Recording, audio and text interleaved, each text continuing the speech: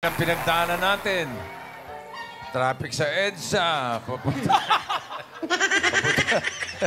Ang dami din pinagdaanan namin, natin. Eh, hindi mo kami iniwan. Sa laban, sa lahat, masaya, malungkot, nandiyan ka pa rin. Thank you. Happy birthday. birthday ngayon lang nagkaroon ng ah, ah, halaga para sa akin. Dahil hindi lang happy birthday, kundi happy kami nakasama ka namin. Alam nyo, yung happy birthday ngayon lang nagkaroon ng ah, ah, halaga.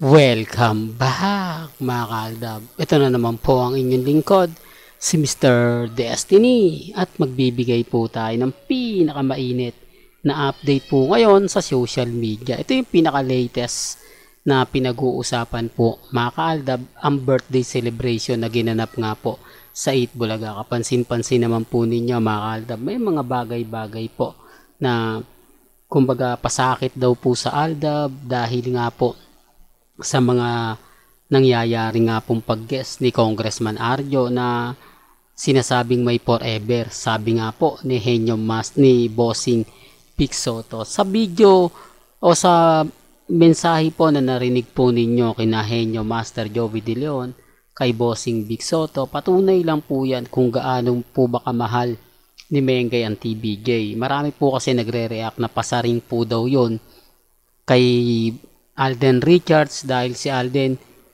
kumbaga iniwan sila hindi po ba hindi sa kanila. Well gusto nga po ni Alden eh. Remind ko lang po ah, sa mga bumabalik sa mga sinasabing may hidwaan ako sa totoo lang po hindi po magagawa ni Alden na iwan ang Itbulaga hindi magagawa ni Alden na talikuran ang nagpaangat sa kanya at ang bumuhay ng karir niya. Hindi, totoo lang po mga kaldab. Kita nyo, hindi nga po siya nagbigay ng update o, o hindi man lang siya nag-guess sa kumbaga sa tahanang pinakamasaya. Although siya showtime, nag-guess po siya pero promotion lang yon Di po ba? At least yun, okay lang kasi yung showtime naman sa kabila rin po naman yon Ibig kong sabihin sa GTV, hindi naman literal. Di po ba nasa Eat Bulaga ng galing o sa Tape Incorporated. Kasi sabi ko nga po sa inyo, di, relax lang. Di po ba? Kampante lang po kayo maging matatag sa dami ng issue na binabato ngayon. Sa dami ng mga inilalabas po nila katulad nga po ng mga issue, okay lang po yan. Po ba? Huwag po kayong padadala, huwag po kayong magpapa-apekto. Tama naman po yung mga sinasabi natin. Bagamat mabigat, masakit, di po ba? Pero relax lang.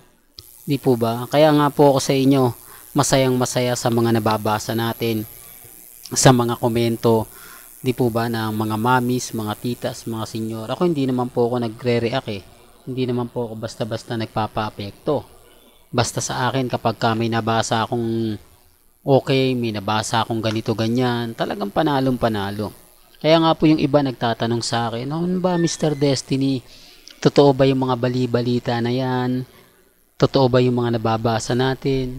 Totoo ba yung mga napapanood natin, napapakinggan natin, etc. etc. Di po ba? Kasabi ko nga po sa inyo, relax lang po kayo. Maging kampante lang, maging matatag. Sa dami ng ebidensya at resibo.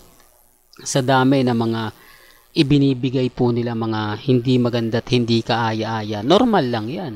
Di po ba? sa dami kasi ng ebidensya na inilalatag natin, sa dami po kasi ng mga taong kumbaga dumidikta sa Aldab Nation, talagang may kanya-kanya tayong pananaw. Di po ba? At eto pa po ah, pasensya na po sa may magre-react. Saan nga po ba nakakatawa o nakakakilig? Saan nga po ba kinikilig? Di po ba? Wala naman pong gala pang kumbaga masasabi mo na keso ganito, keso ganon. Di po ba? Kaya nga sabi ko sa inyo, paano mo malalaman? Di po ba? Yung mga bagay-bagay na kitang-kita nyo naman po kung papaano mag-react si Mengay, si Bossing. Parang may mali, di po ba? Pero hindi po na tayo namimilit. Kumbaga okay lang po yan. At least binibigay ko din po yung mga update na kung saan sila na po rin bahala mag-komento. Basta sa akin mga kaldab, tignan na lang po natin kung ano nga po ba magaganap ang mangyayari. Di po ba sa nalalapit nga po na alam nyo na birthday celebration ni Mengay bukas. sa March 3. Di po ba?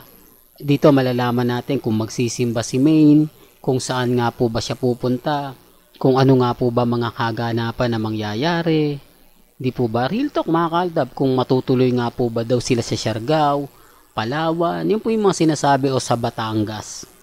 Yan po yung mga nakakalap nating impormasyon base sa mga Armain at main fanatics. Pero gaya ng sinabi natin mga kaaldab, pabor nga po sa kanila ngayon agpa, ang pagpunta ni congressman. Di po ba? Kahit pa paano may kanya-kanya tayong opinyon, pananaw. Kaya nga po tuwan-tuwa po sila eh.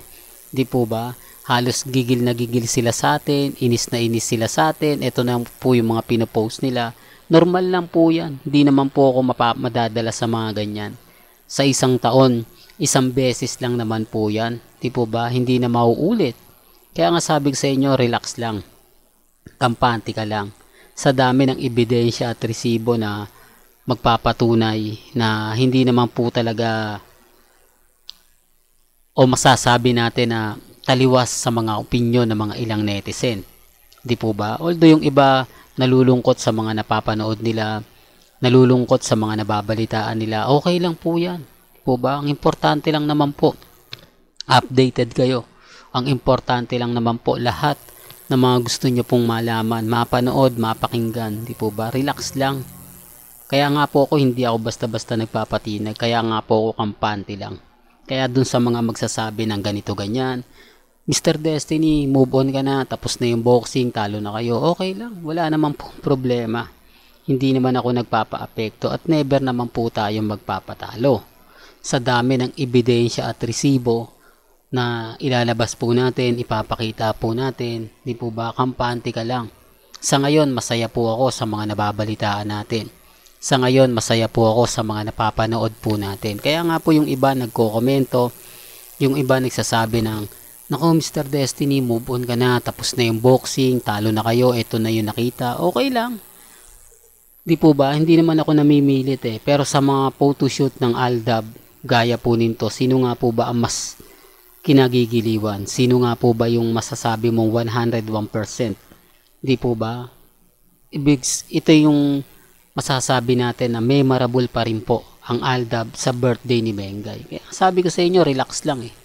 Di po ba? Kampante lang. Well, hanggang dito na lang po ang ating latest updates. Kaya kung gusto niyo pa po ng pinaka-latest at sariwang update, abay tumutok lang po kayo dito po sa channel ni Mr. Destiny para updated po kayo sa mga latest at sa mga bagong video po na ilalabas po natin maya-maya lang. Hanggang sa muli, salamat po sa panonood at pakikinig.